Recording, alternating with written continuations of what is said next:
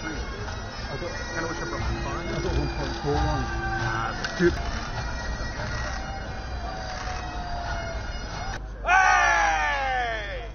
Last one, ready, three, two, one.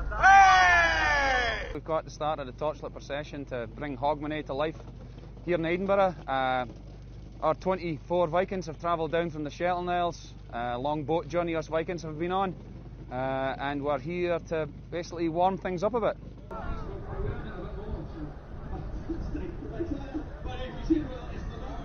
two, don't lose the dance.